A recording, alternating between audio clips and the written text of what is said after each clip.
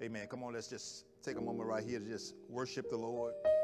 Give me some volume, please. Hallelujah. Come on, hallelujah. Work on it. Hallelujah. Thank you, Jesus. David said, I was glad when they said unto me, Let us go into the house of the Lord. I came running when they said unto me, Let us go into the house of the Lord. Come on, let's just lift up our hands for a moment right here. Father, we bless you. We thank you for this space and this moment in time. We thank you for being God all by yourself. God, thank you for all that we've seen and all that we've heard to this point. We continue to honor you, God, in our worship, even as we prepare, God, to break open the bread of life. We give you first place. We commit our ways unto you. God, if it had not been for you on our side, our enemy would have swallowed us up. So we honor you today, God. We thank you for those who have gathered physically in this place. God, we thank you for those who have gathered even in our virtual congregation. Now we ask you, Holy Spirit, speak in this place. Speak expressly. Speak with clarity and simplicity. Holy Spirit, speak to the heart of the people of God. Save the unsavable, reach the unreachable, touch the untouchable. God, we move us out of the way. Less of us and more of you. We decree none of us and all of you. We commit our ways unto you now. Every man, woman, and child, God. We bind distractions, we bind hindrances. God, everything that would prevent us from receiving what you have for us today, we cast it aside right now. We say, Have your way. Somebody say, Have your way, Lord. Somebody say, Lord, you know what I need.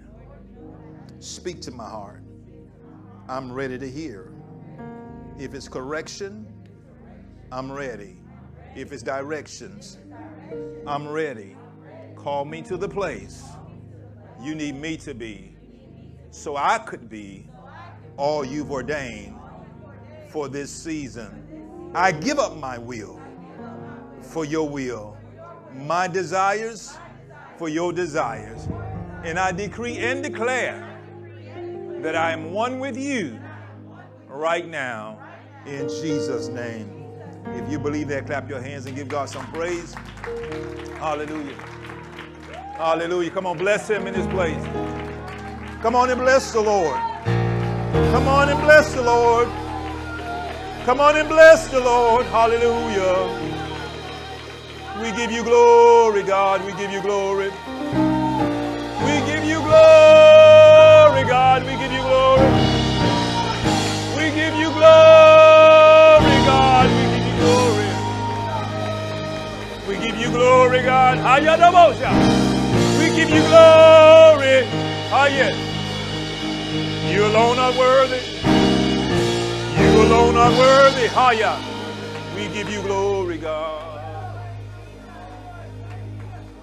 We give you glory, God.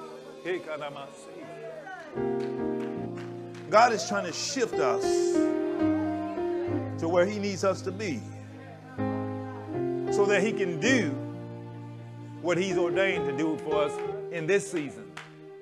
See, a lot of us are going to miss God because we're, we're, we're, we're coming to God, but we're not coming ready. We got to show up ready. Somebody say, got to show up ready. You don't show up to get ready. Come on, sir. you show up ready. So whatever I'm dealing with, whatever I have, I'm bringing that with me. But I'm coming in, I'm entering into the presence of the Lord. Because there's something that I need from God. And I'm not coming empty. I'm bringing my anxieties, I'm bringing my issues. But I'm coming with a worship. I'm coming with a praise. Come on, somebody. Somebody say, I'm bringing my praise. The Bible says that he inhabits the praises of his people he inhabits. If I want the presence of God, I get, I get his presence with my praise. If he inhabits the praises and I want his presence, I praise him. I want communion with him, I worship him, but when I want to be in his presence and I want him there, I praise him. When I get it, thank you, daughter, want his attention, I praise him. Watch this. It doesn't say he inhabits the, the complaints. He, he does not inhabit our worries. He don't inhabit our care. The Bible says, cast your care on the Lord, for he cares for you. Everything that I'm dealing with, I give it to God so I can free myself up to praise him. Hallelujah. Hallelujah. I, I, believe that you cannot enter into true worship until after you have praise. Sometimes we say we got to build up. We're going to worship him first, then we're going to go into a praise. But if I praise him, he shows up. Then I can pause and worship him. So the Bible says he inhabits the praises of his people. So I don't care what I'm dealing with. Somebody say, I'll find me a praise. It might start with a hand clap. Come on, somebody. It might start with a wave, but I'm going to find a praise because I need him to be where I am. Hallelujah. Somebody say, I need you, God. When it, when it get real hard, the, the craziest thing to us to do when it get real rough, when we got nothing else, just break out in a praise. Because God, I need you. I need you in this situation. I cried about it. I've, I've, complained about it. If I need you dear God, amen. Clap your hands, oh ye people. Shout out to God with a voice of triumph. Oh, oh, oh, no, no, my Glory to God. Glory to God. Glory to God. Glory. Glory. Oh my God. Hallelujah, Jesus. Hallelujah. Hallelujah. Oh my God. The best time, the best time is when I don't feel like it. Because see, when you feel like it, that means you know you mustered it up. You you you you you you you, you prime yourself into it. But when I don't feel like it, and I can find it in me to praise Him, Hallelujah. J. J. Moss said there's a praise on the inside that I can't keep to myself. A holler stirring up from the depths of my soul. so he said, Excuse me if I seem a little giddy or maybe even strange. But praise, I say praise, praise is a way I change things. Hallelujah. Hallelujah. If you don't like it, change it. Praise is the way I change things. Hallelujah. Come on, clap your hands to the Lord. Hallelujah. Come on, clap your hands to the Lord. Hallelujah. Oh, oh, oh. thank you, Jesus. Hallelujah.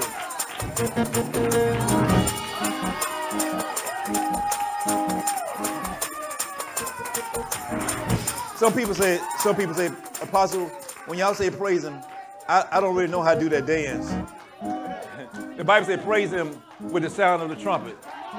Praise him with the psaltery and harp. Praise him with a trembling dance. Praise him with a string instruments and organ. Praise him on the loud cymbals. Praise him on the high sounding cymbals. Let everything that have breath. You got breath in your body? Praise him. Hallelujah. You, you know, you, you just one, you just one hallelujah way. Because the enemy, it, when the enemy, the Bible says the Bible said when the enemy comes in like a flood, the Spirit of the Lord lifts up a standard against him. That standard is the block. The standard is like when you see a, a dam blocking water. When the enemy comes in like a flood, my praise causes a standard to be lifted. It causes a standard to cover my family. Come on, somebody. It causes a standard to cover my life. Come on here. Amen. When I praise Him, dear God. Hallelujah, Jesus. Glory to God. Hallelujah. Hallelujah. Thank you, Jesus. Hallelujah. You know what I'm going to do? Hallelujah. I, am gonna take. I want to take about. I'm, I'm, I'm gonna give y'all about 15 seconds. whatever your praise is, if it's clapping, if it's jumping, I'm gonna give you about 15 seconds to give God your praise so he can go ahead and get in that place you need him to be. One, two, three, come on, praise.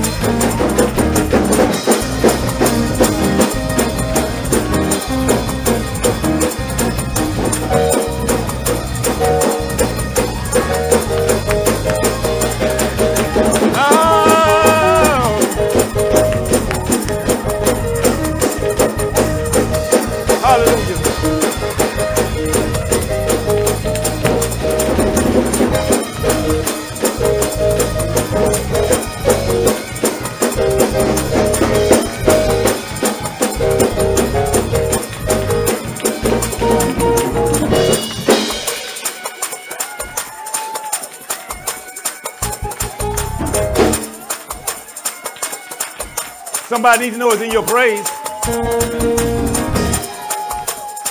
I'm going to preach in a minute.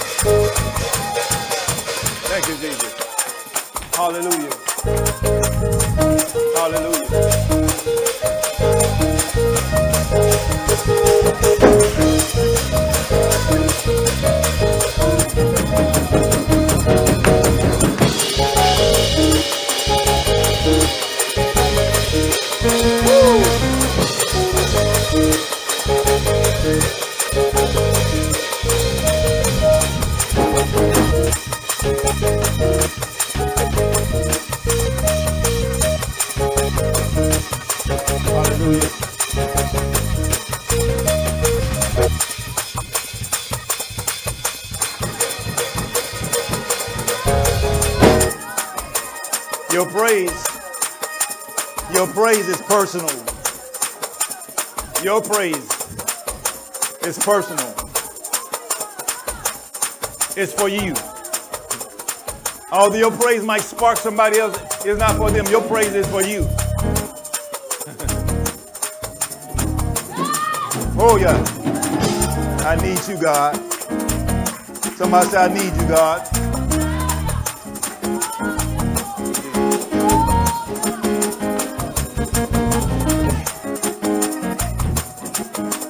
Hallelujah. All right. I don't know why y'all was holding that.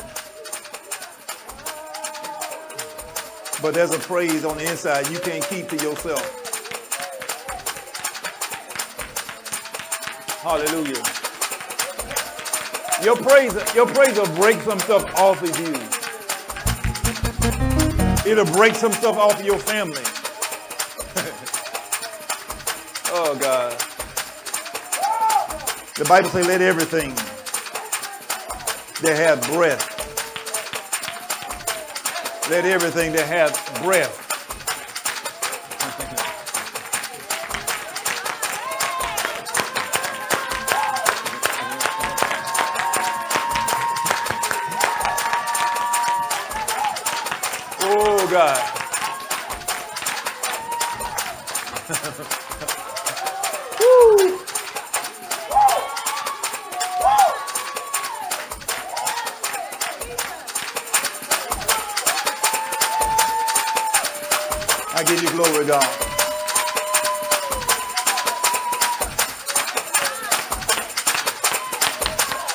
We call unassisted praise. Nobody's singing you through it. Nobody's coaching you through it. You know you need it. Amen. It's between you and God.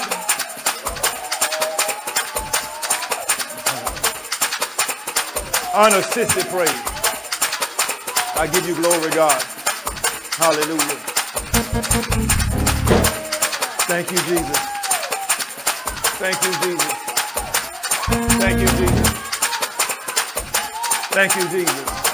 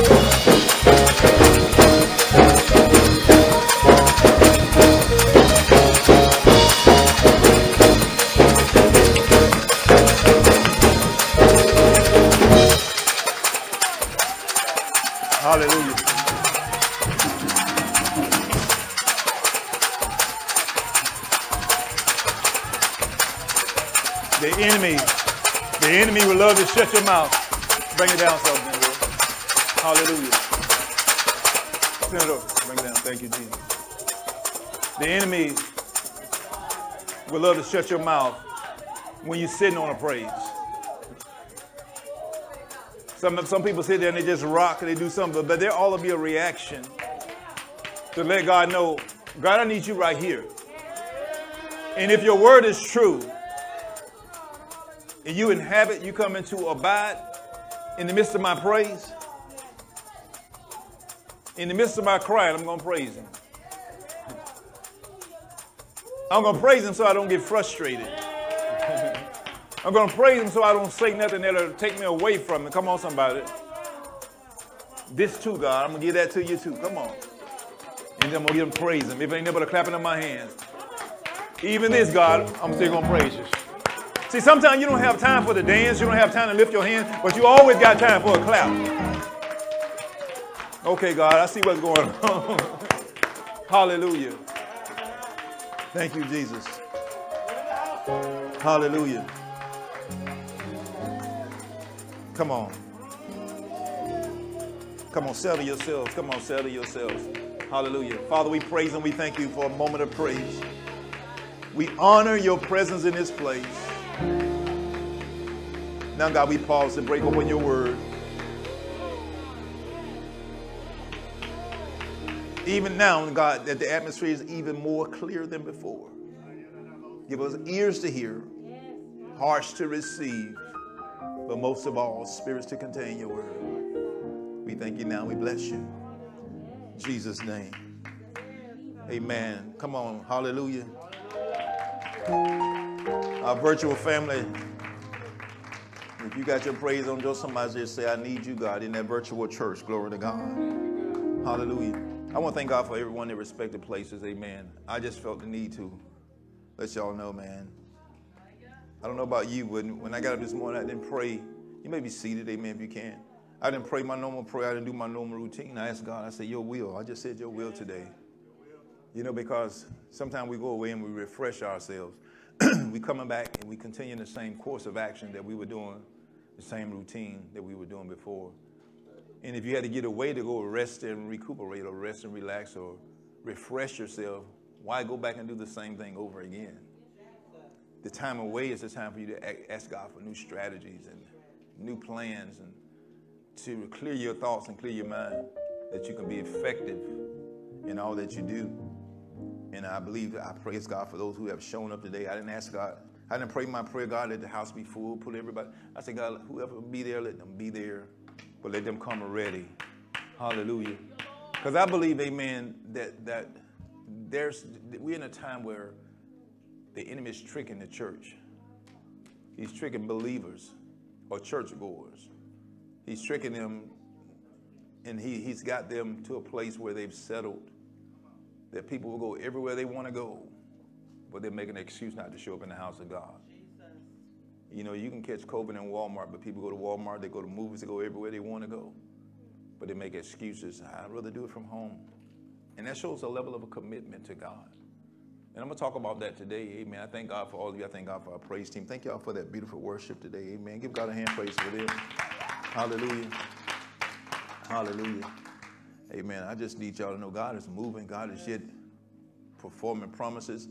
If you if you haven't had any type of challenges, amen, then something you all, just the one that ought to be fearful. If nothing ain't been going on in your life, you know, your, your spouse ain't had a couple of sharp words, or you, you know, you, something ain't happened, something that shifted you or make you redirect your energy to God, your focus to God, amen, then the enemy got you where he needs you. Amen. But if you've been having just some challenges somewhere, you had to go back and redo some things. They'll let you know, amen, that you got God's attention, and when you get God's attention, you have the enemy's attention as well. And so, amen, I want you all to know that. I thank God for all of you. I thank God for my beautiful wife, amen, my best friend in the whole world. Hallelujah. For going away and spending time with me, man, I'm telling you. And we plan to already go again, y'all, amen, because, hallelujah, it's so needful. And, and I told her, I was telling her, I think I was talking to Pastor Napezo, I said, I wouldn't get up in the morning doing devotion and the prayers I normally do. I just get up and, Lord, I thank you for another day. Cover my children, my family, all that pertains to me. and I'm going to enjoy some time because God knows our heart. Amen. God knows our heart. I just ask God to help me continue to keep my heart committed to Him. Committed to Him. If I can do that, I can do all the other things. Amen. Hallelujah. Um, we're truly blessed. I thank God for her. And uh, we brought our other grandbaby down, Sunshine, and let her spend some time down uh, to get away. She's been trying to get some time with her cousins and all that. I said, well, you missed that, but we're going to take you away for a little while. And she came back and tried to stuff her bag with snacks so she can bring to her cousins. I said, no. Everybody gonna have their snacks. Y'all just be, y'all be good to each other. Amen. Don't buy friends and all that stuff. But she don't want people to feel bad because she went away, you know. So, but it happens. Sometimes everybody can't go. Amen. But again, I appreciate all of you in your respective places. We're gonna go into the Word. I'm gonna, I'm gonna be finished. I don't want to preach long or teach long. I'm, I'm learning to do what God said do, and to minister to God has that has an ear for that word. Amen. And so, um, again, y'all notice we didn't put anything say welcome back. And I didn't do none of that. I said, whoever gonna come, we're gonna come. You know, we know we got to come back. you know, grown people do what grown people are supposed to do. Amen. Somebody say the mature church. Do what we're supposed to do. Don't need a reminder that we be, need to be at church on Sunday. We don't need, nah. That was, that's what spoiled people. And they look for it. I'm not going to spoil you. Amen. Glory to God. You either get it, you either get it or you don't. Amen. Hungry people show up to eat. Come on. Hungry people show up to eat. And they, know where to get fed at. And don't nobody get mad, but I think sometimes virtual church is like fast food. You know, you can eat it on the move. Amen. Keep on going. You be in the living room, still here. I heard what it said, but you're in the living room. Then you don't went to the other room and you're missing parts of the word. And uh, I thank God for our virtual family. But if you're local, amen, we would love to see you in the house. Amen. Glory to God. If you those that are in virtual family, stay in one place and listen with your family. Amen. Stop the children from moving. Turn all the devices and different things off so you can hear the word. Amen. Hallelujah. Glory to God. Grab your Bibles. Let me get into this. I, I, I asked for a time limit today for my wife to get me up at a certain time. And uh, y'all went to acting crazy and shouting and running all over the church. Huh? I know what time I got up here. Hallelujah. Psalms 37 is where we're going today. We were teaching and preaching on uh, remembering God, and if we fail not, not to remember, we fail to remember. And we talked last time, we didn't finish the topic on obeying God, you know, committed, about, talking about obeying God and remembering and obeying the results that come from that. We're going to continue that series down the road, but God shifted me this morning. And He said a lot of people are not remembering because they have not committed. They have not committed. We're going to talk a little bit about that for about the next 30 minutes or so, and we're going to move. Psalm 37, verse number 5. And for the sake of honoring the word, I want you to go ahead and stand again. I like that sound I had, so I can hear myself up here, man. I like to hear. I can sound. I like how, how that sound. We don't need the echo, but the sound. Psalms 37, 5 through 9. And the word of God, read, let's, let's read it together. We're reading from King James Version. It says, Commit thy way unto the Lord, trust also in him, and he shall bring it to pass. Y'all see that? He shall bring it to pass. Whatever your it is. And he shall bring forth thy righteousness as the light and thy judgment as the noonday. Then it says what? Rest in the Lord and wait patiently for him. Fret not thyself because of him who prospereth in his way, not in the Lord's way, but in his way. Because of the man who bringeth wicked devices to pass. Cease from anger and forsake wrath. Fret not thyself in any wise to do evil, for evildoers shall be cut off. But those that wait upon the Lord shall inherit the earth. Amen. You may be seated in the presence of the Lord. Amen. The first three words in that text say commit, it says commit thy way. The first part of that say commit thy way unto the Lord. If I read that in the new, I'm going to deal particularly, amen, this morning with the first couple of verses. I'm not going to be able to get all the way down, but I want to give you something to hold on to and something to keep your thought process thinking about your commitment to God. Amen. Somebody say we need to be committed. Somebody put that in the chat for me. We need to be committed. Amen. It says, The New Living Translation says, commit everything you do. Commit everything you do to the Lord. Trust in Him, and He will help you. So committing, committing to God it also involves trust.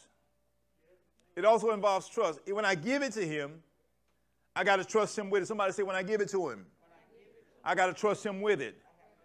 Whatever that issue may be, whatever is troubling me, whatever I'm believing God for, the promotion, the increase, health wise, whatever I commit to Him, I got to trust Him with it. So, what does that mean? When I give it to Him, I don't go back and try to get it when God does not move in my time frame.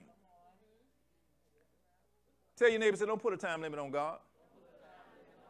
I truly believe there is a time for God to do a thing, but I believe it's based upon our expectation and our commitment. Somebody shouts, you got to be committed. Come on, y'all got to talk to me today now. He says, he says, commit everything you do to the Lord. So whatever I'm thinking about, whatever I'm dealing with, I got to commit this thing to God. If I want God results, if I want God results, I got to commit it to God. Amen. I think I was looking in some of my notes from the earlier part of the year. In the first quarter, I think it was around February, I talked about having a heart to commit, having a heart to commit, having a heart to commit.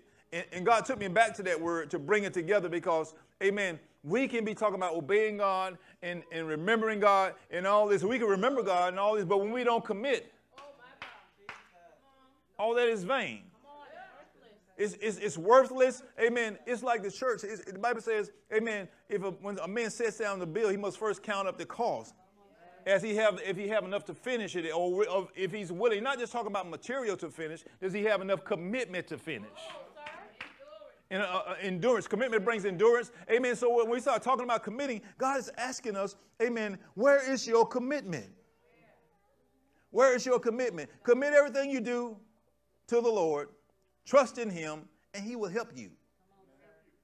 He will make your innocence radiant like the dawn, and the justice of your cause will shine like the noonday.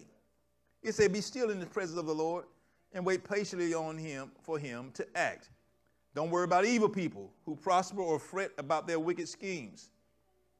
Stop being angry. Turn from your rage.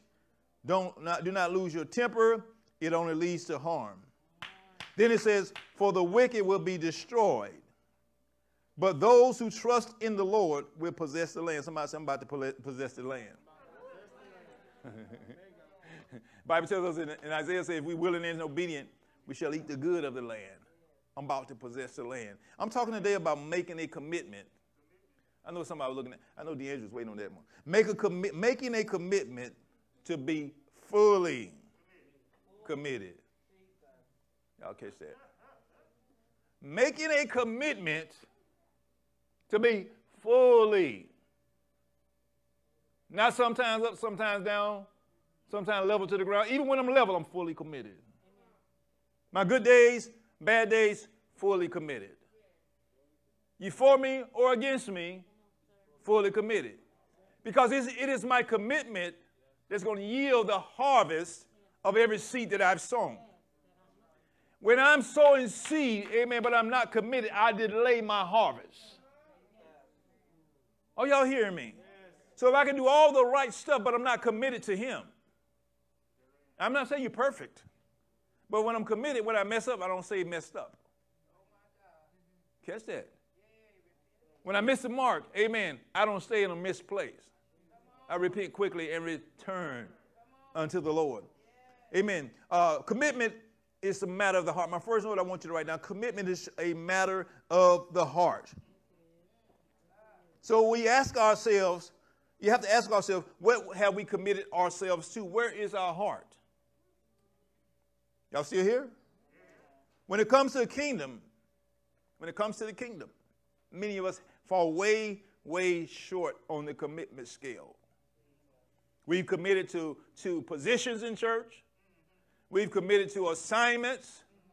We've committed to our jobs. Amen. We committed to making a paycheck. Amen. But when it comes to committing to the kingdom, when it comes to committing to God, we fall way, way short.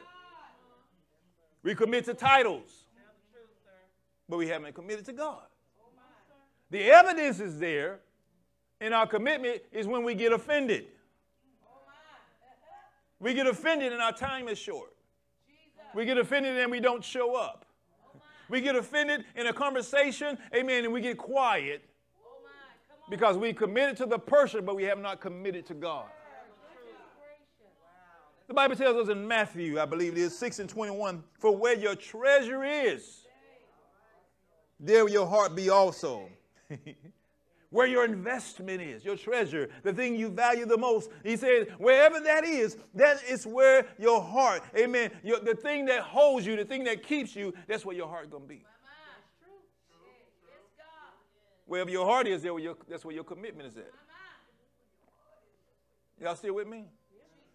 That's why people move so fast in, in different phases in life because they didn't commit from the heart. They committed with their mouth, their heart. The scripture says these people worship me with their mouths and they honor me with their lips, but their heart is far from me. So I see you jumping, I see you praising, I see you hucking and bucking. But where is your heart? When God was dealing with me this week, He said, Where is your heart, Senordor? I said, God, my heart is with you. He said, Is it in all areas of your life? And I began to search my life, and I found out there were some ways that I had committed myself to, but I haven't committed my heart to it, or I haven't committed all the way to God. If I'm doing something, I say, You're talking real good right now. Because where my heart is, I don't care what challenges that thing, I'm committed to it. You say some stuff. See, people come at you sideways, but if your heart is committed to it, you get ready to say some stuff, and then your heart is saying, uh uh, don't say that. Somebody say your heart will save you. You want to go off, your heart says, uh uh. Because you, you committed this thing to God.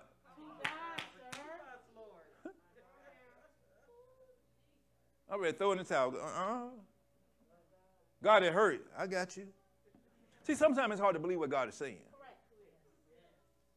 Vengeance is mine, I will repay it. Okay, God, when you going to repay it? Because we don't see God doing it, we don't know how God is doing it. We have an idea of how we want Him to do it, but His ways are not our ways. His thoughts are not our thoughts. When, when people do us wrong, we want them to hurt as bad as we hurt. And God might just simply block a blessing from coming their way, but y'all want them to feel the pain that you felt. Because your heart, amen, is your commitment, amen, is to revenge instead of to God. Okay, commit, commit. Give them some definitions. I got a few. Amen. Somebody say commit. Amen. We look about we talk about words. The word commitment. Watch this. Commitment is the act of committing, pledging, or engaging oneself. It is the act. Not just verbal. I'm into this. I'm moving into this. Commitment, commitment is just like love. love is a what? Action word. If somebody say they love you and they're acting crazy, you say, show me. I hear what you're saying, but I, I, I see what you're doing. Commit. Commitment, the act of committing, pledging or engaging oneself. I want to focus particularly on the word commit, means to bind or obligate, as by pledge or assurance. When I commit my ways unto God, when I commit my way unto the Lord, I bind myself to Him, I obligate myself to His ways, and I trust Him with my process. I bind myself to him. I trust, I trust him in many ways. I, I trust the process, and I submit everything I have to him, even if he's not moving in my timing. Here's, my, here's, the, here's the issue. Here's the issue. Sometimes I get, I get, uh, and I know y'all don't do this because y'all say long better than I am. Y'all good and say. Sometimes I get frustrated with God. Come on, tell the truth. And then I pray. I say, God, I'm frustrated with you. Y'all ain't never said that to God. God, I'm angry. God, this hurt. God, I'm, I'm God, I, have even told God, I'm angry with you. It don't do no good, but I just like to express my feelings to the Lord. Because the Bible is not, it's not, thank you, baby. It's not, it's not a sin to be angry. The Bible says be angry, but sin not. Now, I'm not going to do this dumb and say thing evil against God. I'm just going to let God know I'm disappointed. God, I thought you would have handled this by now. God, I sowed a seed for this, God, but you haven't moved on it. Amen. And so, God, I'm ready to change it. But God said, Are you committed to the process? See, when God get ready to stretch the church, the real church, when God get ready to stretch his people, the ones that's going to make a difference, difference in this dispensation, amen, where we're trying to leverage the physical and the virtual church, amen. Some people have, have uh, resided themselves or put themselves back to just, just sit back and let it happen. But God is looking for some people who's going to make it happen by moving in his timing. And everything ain't going it's not going to be like we want it to be. Amen. To pledge, pledge a solemn promise. So not only am I in a binding agreement, but I made a solemn promise. when I went to the altar, and see, a lot of people gave the right hand of fellowship, but they didn't give their heart. Bible says, confess with thy mouth and believe in thy heart.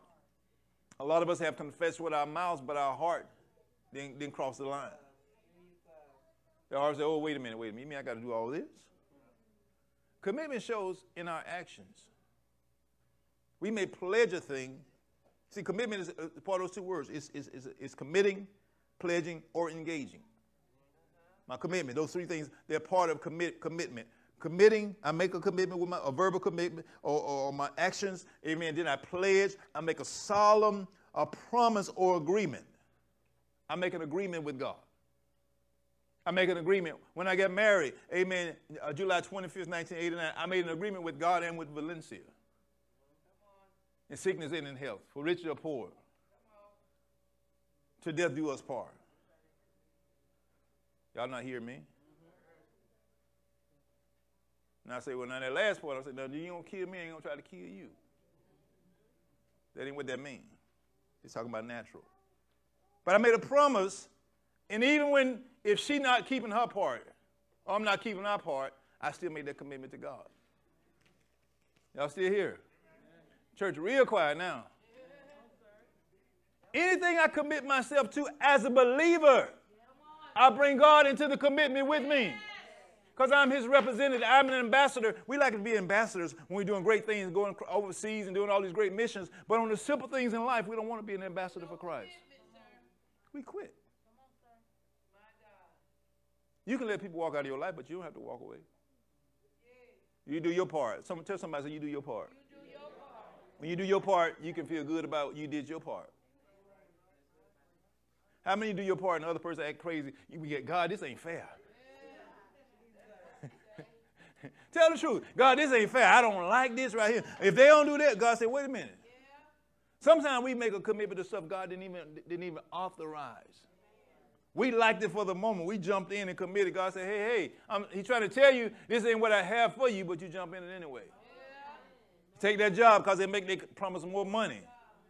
You take that job and they take you away from God. Come on. That's why I tell people find a career. You find a career, amen, you can do something that you have a passion for. Even when the money's not right, you can still do it because you have a passion for it. You make you commit to your passion. Amen. You say, where your treasure is, that's where your heart's going to be. Amen. Where I place my investment. Return on investment. Amen. When I put an investment in something, amen, that's where my heart is going to be. Amen. Matthew 6 and 21 says in the message Bible says, it is obvious, isn't it? The place where your treasure is, is the place you will most want to be. Wherever your heart is at, that's the place you're going to want, most want to be. That's why I start praying that people will come back to church because their heart is not in it. They'll come back and they'll commit to the man of God or the woman of God. They'll commit to an assignment. What do you need me to do? I don't need you to do anything but get your, your soul saved. People don't like that part right there. Well, he, he ain't give me nothing to do. Get saved. Then ask God, what do you need to do? If you really commit to God, He gonna tell you. He gonna tell you to start in the area of hospitality. Church full of prophets and apostles and evangelists, but nobody want to serve. They commit to a title, but they don't commit to God. Our commitment to God show, amen, when we show when we have adversity in our life. And then we start quitting. We shrink back. Fully. Didn't I say something about fully? Fully. Fully. Now, if you wrote no definition right there, fully, uh, it's making a, making a commitment to be fully committed. Fully means entirely or wholly, complete, everything. you mean God, I do it? It ain't halfway in, halfway out. And I told God, I was telling God, amen, when I was floating in that water, I said, God, I'm really committed to making things happen for my family. And I said, but sometimes they just get on my nerve. This is how I was talking to God. I was being real. When I say my family, I'm talking about my whole family. Everybody. Now, I said I'm not going to make them do something, but I'm going to set it up so they can get it done. God said, put the things in place. Commitment causes for you, watch this, to put the right things in place, the right tools in place, and make it available. It's just like I have instructions here. I say, Chris and Fatima, this is what you need to do to be successful. I'm going to put it right here. And Chris said, I got it. But he never picks it up and read it. Come on. Come on. Y'all still with me? I'm almost finished. Like some of y'all like getting upset. Our heart will go where our greatest investment has already gone.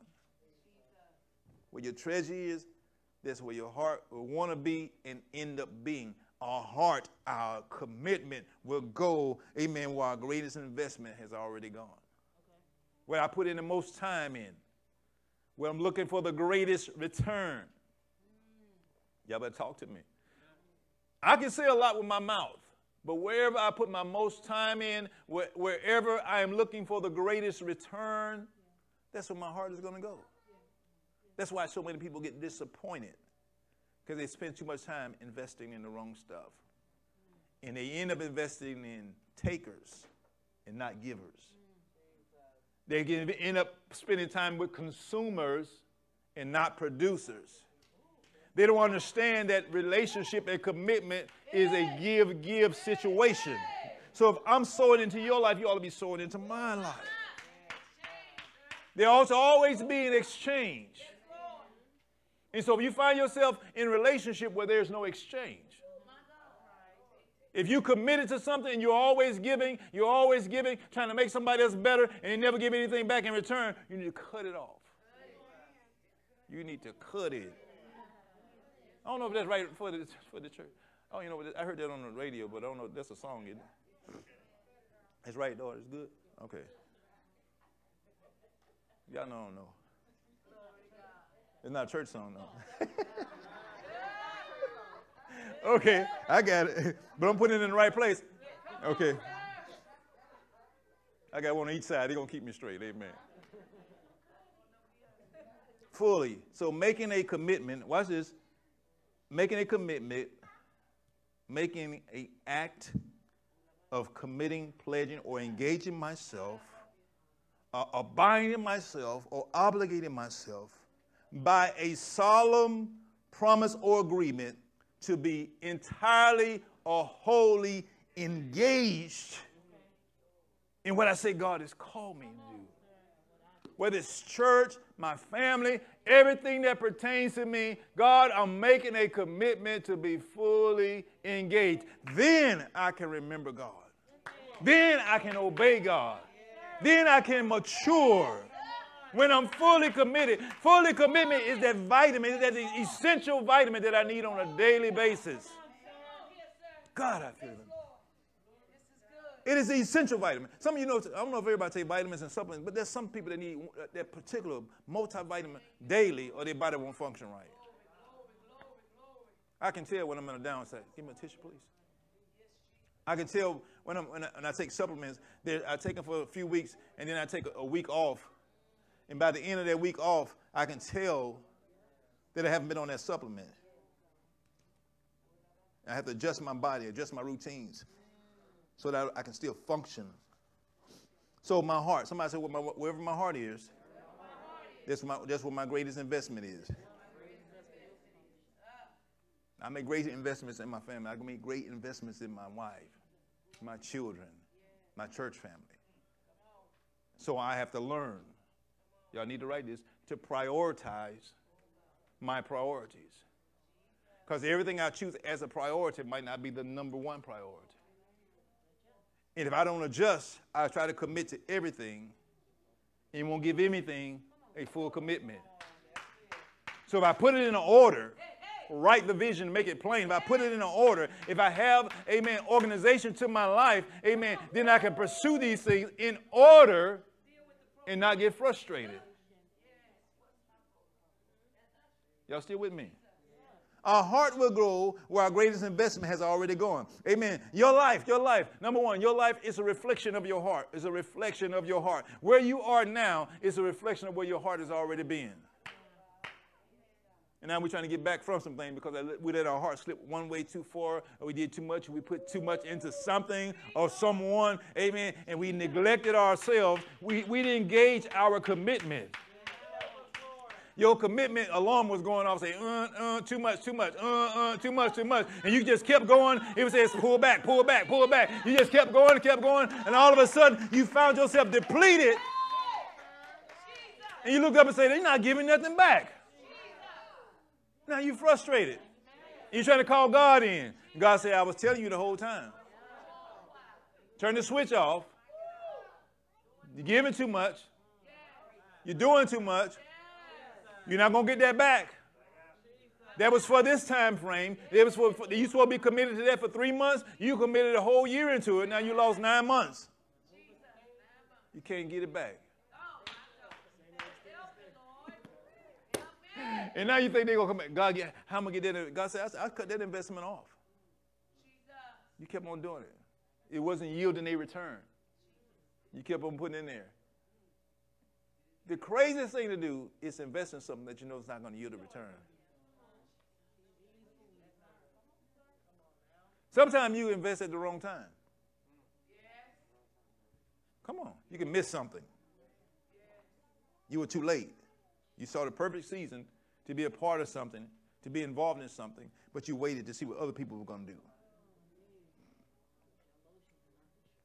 Come on. You watch everyone else, but you didn't listen to God. Those of us that invest was investing online, uh, AMC about a year ago. AMC, this uh, entertainment theater, AMC was yielding some great stuff back. Yeah. I was sitting watching it and watching it. Yeah. Then when I invested in it, it was too late. Yeah. Now I'm still waiting to get my money back. I won't take it out. I, I got to wait till it flip again. Because I got too much in there. Now, now, now Brother Rashad was like, Brother Rashad was like, man, I put my money in there and man, it flipped back. Somebody said, don't miss the time. God will alert you. There's, there's some people in your life, I'm telling you right now, there's some people in your life, God is telling you to cut them off for this season. Because they haven't done anything what you've already put in them. If they're going to get something out, tell them dig into what I've already put in. You got seed in you, go and find it. See, y'all think this is mean. Well, you going to just cut them off? No, I'm just going to let them find what's already in them. Amen. Your heart is a reflection, your, your life is a reflection of your heart. I'm going to finish in, in this point right here. I'm not going to keep you long. Amen. Your conversation is a reflection of your heart. Oh, Y'all better catch this. You want, to, you want to know what person's heart is at towards you? Make them mad at you. Get them mad.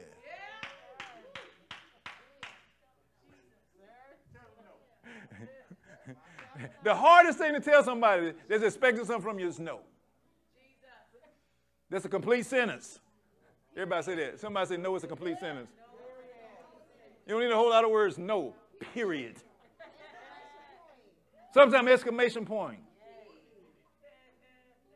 Don't have to add nothing to no. I know sometimes you feel like adding stuff to the front of no, but just, just know. Somebody say just know it's good. Your conversation is a reflection of your heart. When you begin to regulate how you deal with people, their conversation will change with you. You can love them, and but you still have to deal with them appropriately because they can drain you.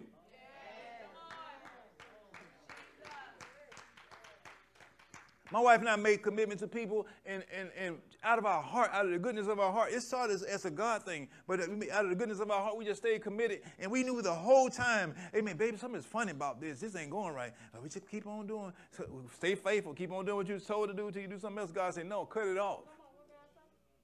After that first time you get burned, second time, I said, God said, if, this, if the third time it came out like this, God said, this go this way, this is what you do. As soon as it went left, the person, I said, we done. What do you mean? I said, I'm going to send you a letter to explain the whole thing to you. You're not just going to quit. No, we're not quitting. You didn't, you didn't uh, meet the obligations. You didn't commit. You, you, you violated our agreement. You voided it.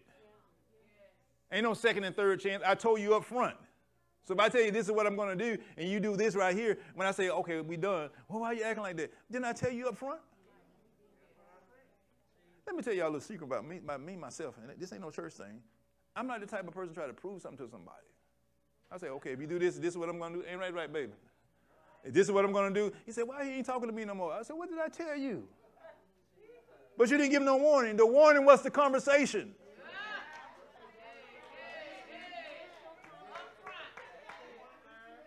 That's why the church ain't ready to grow up. The church is not ready to be stretched because they want somebody to beg and plead them to commit to God. The Bible says, work out your own salvation with fear and trembling. I'm going to give you the word. You got to do the rest. Your conduct. I said your conversation. Your conduct, we say conduct, conversation is the same. No, conduct is how I carry myself. It is a reflection of your character.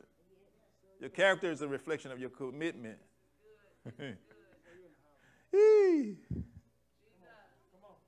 your character, your conduct. When you by yourself, you know, how you act when there's no accountability. Hmm. Commit thy way unto the Lord, trust also in him, and he should bring it to pass. A lot of stuff ain't coming to pass because you haven't committed. Your private conduct is suspect I want to preach an encouraging word today. I hope I'm encouraged. I want, I want, uh, when, when, when something happens in my life, I want to be able to celebrate and not look over my shoulder. You know, somebody gets something new and they be wanting to celebrate, but they know they did it shady. They cut a deal behind the scene. Then they be clapping like this. Hope nobody didn't see them cut that deal.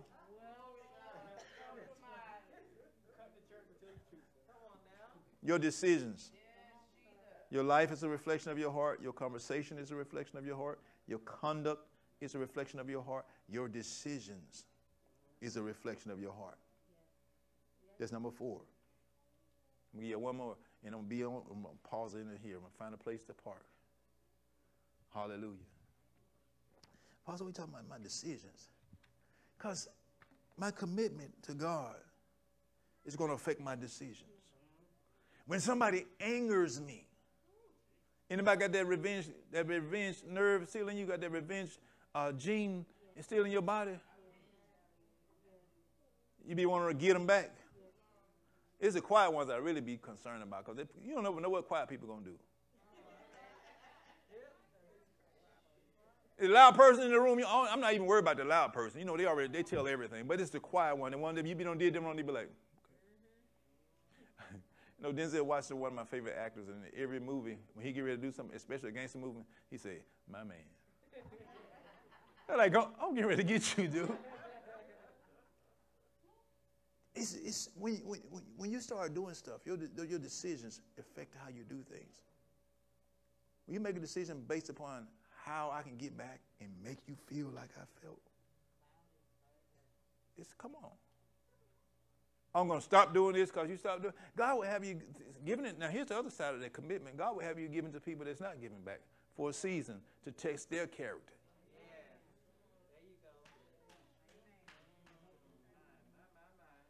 But we got to be sensitive enough to hear him when he say, cut it off. People start judging you. People start living out of your refrigerator. They will. They'll be gauging your bank account. Y'all love to cook for people. We go in your house. Now, who told you to come out my house? The last thing, your giving is a reflection of your commitment. Are y'all still with me? Now, now, now, church folks, when I say giving, they first thought, now you even talk about money. I'm talking about your time, your talent, and your capital. A lot of people won't go to church because they think the church is going to ask for money. And then people start giving this much in this church because they say they paid the church off. We sure did. 12 year mortgage, a 30 year mortgage in 12 years. Excellence. To God be all the glory. Not to Senordor Valencia, not to Lucas, and not to nobody, not to no, to God be all the glory. God made a way for that because we were committed. Fully committed. God said, Amen. When you fully commit to me, He said, I do big things in small spaces. You're giving time, talent, and your capital. When I'm in serving of my time, I'm not complaining about who's not there. When I'm saying I'm committing to God, I'm committed to the church, amen, I'm not complaining about who's not there. I know I hope she don't get mad. I came into church one day, the church smelled so good, man. I said, man, I started walking around. I said, who been here? I said, I told my wife, I said, babe, I bet Sister Lisa been at church. She ain't told nobody nothing. I didn't know nothing. She just asked for the key and come in and do what she need to do and go. And half of us don't even know that she's, she's been doing it. Because she's not broadcasting it. So, all, so most of us got to be put on a roster. Go to the bathroom, go to the restroom and see toilet paper all over the floor. Uh, my name ain't on the roster. That ain't no commitment. That's not my assignment. Boy.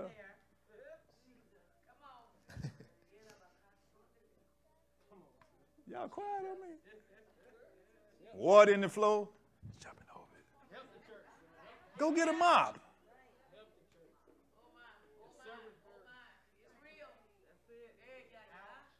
I, I, get, I get, help me, Lord. I'm looking for the words now.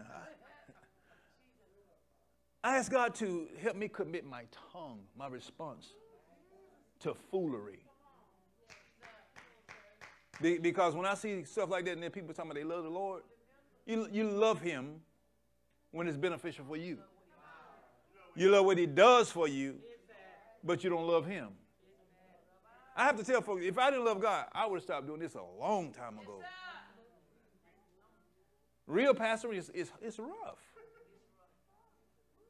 Think about if you had to pastor a church full of people like yourself. Deal with five of you riding in the car going somewhere together. Not just different personalities, deal with five of yourself. And your different emotions that hungry you, that irritated you. Come on. Not, not just the one that's feeling good, but the different emotions that you have, deal with five of yourself. Because I don't, I don't like the hungry. I don't like the hungry me myself. I don't like the irritated me. I don't like that myself. When I feel it coming on, I be like, man, let me go somewhere by myself, find something to eat. Go sit in the corner and get it right. Because I want to make a commitment to God. I want to act right. Let me finish this. Amen. Here it is. Commit thy way, thy heart. Commit everything you do to the Lord. Trust in him, he will help you. The scripture says, he said he will bring it to pass. Here's the test. Where is the it in this, in this text for me? What am I believing God for right now? That's not happening. Is it not happening because I haven't committed it to it? Is it not happening because I give it to him, amen, and he don't move fast enough I go back and get it? Is it not happening because, amen, I haven't fully cast my care for it on the Lord? Cast your care on the Lord, for he cares for you. Am I trying to carry it by myself? Come unto me, all you that labor and are heavy laden, and I will give you rest. He says, Take my yoke upon you and learn of me, for my yoke is easy, and my burden is light. He said, If you come up to me, he said, If you give me what I need, if you give it to me, he said, I got you. God gave me a word. I didn't want to go on live for nothing, but God gave me a word, amen, to share after my birthday.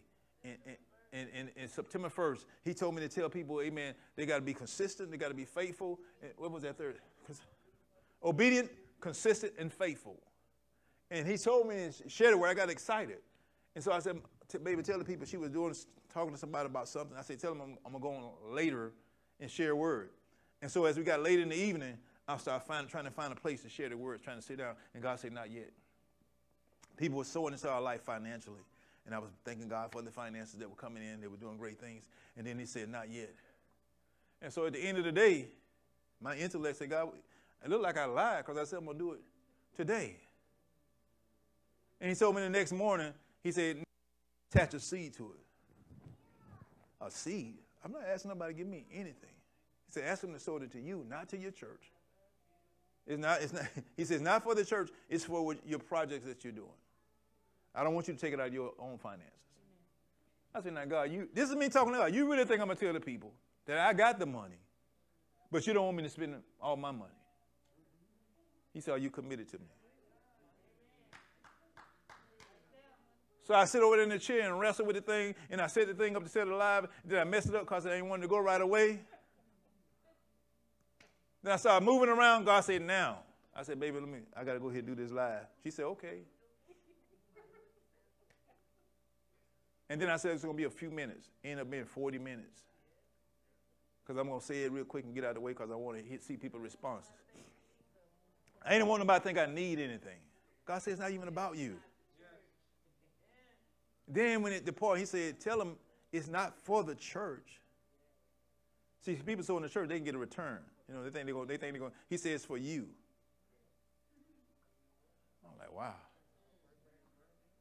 I said, okay, this is what the Lord said. This is my project. Boom, boom, boom. He gave me these three words. And then he told me over the years, no matter what has happened, and you all have eyewitnessed this, no matter what has happened in our life, big crowd, small crowd, many little, we have steadily always progressed forward. Are y'all still hearing me? And so I said, God, I'm committing this thing to you. And now, in, in going forward, whatever the Lord says to do, I'm committed to it because it's not even about how people think about it. This is for some of you. There's some things God is telling you to do, even for this church. And you worry about what other people are not going to do. Do what God tell you to do. Fully committed. Brother Green sitting over there don't say nothing when he come to church. Y'all been on our website? www.nlhop.org. He didn't say anything. He heard me talking about it. And sent me a text message. He said, Pastor, I got can I talk to you when I get a chance, when you get a chance? And uh, you know me being a pastor, and I know they married, they travel. I say, Lord, I hope ain't nothing going on in their marriage. and then he called me, he started talking to me. I was like, Phew. But I was emotional talking to him just prior to his call. Another brother, a sergeant major, retired sergeant major, called me and said, Man, I miss you. I was about to cry on the phone. He said, it's your commitment, man. He said, I watch you and your, you and your wife go through stuff. Nobody know nothing about it. He said, but I watch y'all at a distance. He said, I Nicodemus you. I'm talking about somebody I admire, watching my life. He said, I got to come down to Columbus and spend some time with you. Then he gave me some things to pray for, to pray about concerning his life. And then he said, You want to teach me how to golf? I said, man, they're going to be funny now. I said, But I commit to it. In the midst of that call, I'm talking to Brother Green right after that. I'm looking at God saying, When you commit to me, I got you. All your ways are going to be established. God will put people in place, but you got to be fully, wholly, entirely all in. And He'll bring it to pass. Now, think about what you need God to do as we prepare to close. Glory to God. This is the last thing I'm going to say. Locate your treasure and you locate your heart. Locate your treasure. You will locate your heart. If your heart is scattered, if your heart is scattered, your treasure is probably scattered. You got your heart in every other thing, but not what you needed to be in. The reason nothing is being accomplished in some of our lives because we spread ourselves out. We we fooled ourselves like we can multitask and perfect multitasking. And you can't commit to that. Find out what God's called you to do. Because nothing significant happens in life without commitment. Your commitments determine your future. You are going to become whatever you've committed to. You hear, you hear me? You're going to become whatever you committed to. Final scripture. We're standing. Romans 12 and 1, the Message Bible. Y'all listening? Romans 12 and 1 in the message. It says, So here's what I want you to do God helping you. Take your everyday, ordinary, ordinary life, you're sleeping, eating, going to work, and walking around life, and place it before God as an offering. Embracing what God has for you or does for you is the best thing you could do for Him. Stop trusting, putting all your trust in people. Put your trust in God. I think the hardest thing I've had, I've learned, or people get to learn about me, is I'm committed to God. I don't act funny with people when they walk out of my life. I just keep doing what God called me to do. I don't judge people. When they say it's God, when they say God told them to do something, I don't know what God said to them, but I know what God what God said looks like. Some people saying that God said it don't look like don't look like God, but you can't tell people. Come on. If somebody came up to me and said God said, "Well, listen, my wife, they don't look like God," because she's my wife. Somebody said that's their wife, that's my wife. If somebody said God told me you my husband, no, they don't look like God. If God said God told me you're supposed to give me uh, this much money, no, God ain't told you that because He would have told me too. Some stuff just plain sense, common sense, plain and simple. You don't have to be deep, but when your heart is committed to God, you're not tripped as often. You're not surprised as often. Your sensory, your, your, your, your, your discernment, I won't say sense, your discernment is sharper when you fully commit to God. Y'all hear me? I see it before it happens. God will show you stuff and you won't even believe it's coming from that person, and it still it happened to you because you don't you don't believe it's coming from them. Come on. And when you trust God, God will trust the process where God's going to bring you through. Amen. Amen. Let's pray. Father, in Jesus' name, Lord God, we honor you. We thank you for the word you've allowed us to share in this place. Father, you said that your word would go out and not return unto you void, but it will accomplish that for which you sent it and will prosper in the thing that you sent it to. God, we've spoken corporately, but I know we receive individually. Now cultivate the heart, the ground, that this word is settled in. Let it be fertile, producing fruit in this season. We decree and declare that the enemy will not come and snatch this word that's just been sown, not just in this physical room, but even in our virtual family. And God, we thank you for testimonies that shall follow to people saying, I've made a commitment. I've rededicated my commitment to God. I rededicated my life. I rededicated myself to God. And God, as we trust you with all our heart and we lead not to our own understanding, we choose to acknowledge you in all our ways and allow you to direct our paths.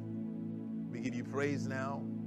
We give you honor and glory. And we thank you for the victory in every area of our lives. We thank you for it in advance because it is a part of our heritage, Lord God. We thank you. We trust you. In Jesus' name, amen. Come on, give God a hand praise. Hallelujah. Hallelujah. I know everyone here love the Lord and have confessed Jesus as your Lord and Savior. But if he, for any reason anyone needs prayer, salvation, we want to pray for you today. Or if you are in a backslidden condition, want to return to the Lord. We want to pray for you today as well. If you're in our chat room, same thing for salvation. We always place a one in our chat box or a two for rededication. If you have a special prayer request, let us know. We'll pray with you and pray for you. We're still trying to practice social distancing, but if you want someone to pray with you come to the altar, you want someone to pray with you and pray for you, somebody can meet you at the altar today and pray with you. Hallelujah. Glory to God. I Understand that commitment is a matter of the heart. It's a matter of the heart. Wherever you laid your, your commitment at, that's where your heart is at. And the thing we have to guard against is having a divided heart. What I mean by that, you can't fully commit to so many things at once. Got, you got to capsulate things. Family, got to be in there. Everything that's a part of your family. You can't choose one person over the next. You got to commit to the whole, the whole, the outcome of the whole. So, but um, I wanted to just, for those of you did not hear the word on September the 4th, first, please go back and listen. I'm telling you, I've heard our man of God flow prophetically. I knew it came from the mouth of God. I knew it came from the heart of God. I, I really, I literally saw him wrestle within himself, fight himself, down there trying to relax and trying to put it off. But God gave him a specific time. And um, what I heard, it really ministered to me right there in the room. But I also wanted to just challenge you to, to share that word. I'm telling you, we're already touching, we already gone further than these four walls.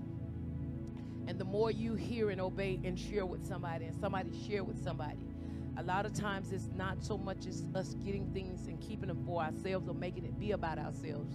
It's beyond us. Amen. And and I keep hearing what our son preached on last week. Have we forgotten already? The Bible said the kingdom suffered violence and the violence. I, I saw and I saw my, my granddaughter not intentionally doing it, but she was being used to try to frustrate me and distract me just this morning, you know, sitting over there. And I was like, oh my gee, come on. And it's like all of a sudden after I pressed and just got up and just said, God, I give you glory. Even in this, he said, this is what it's going to require for the manifestation of what I promised. You got to be so not just intentional, but determined. And most of all, he said, obedient, consistent, and faithful. Those were the three words that God spoke, and it just resonated in my spirit. And a lot of times, my obedience, Fatima, it don't come when everything is going good. My obedience is is committed when when it's hard, when it's challenging when you don't want to say nothing, when you you hurt, like he said, when you're angry, and it's like you you want to stop right there and say, God, why? You don't even want to keep account. Come on, I mean, you want to keep account, but like God, I said I'm sorry the last time. Uh, come, come on, why I had to start the conversation, things like that. So I, I just wanted to get up. If you did not hear the word that our man of God released on Thursday. September the 1st. Go back, look on his timeline and, and, and, and revisit that word obedient, consistent, and faithful. And what God said, it starts in your first ministry.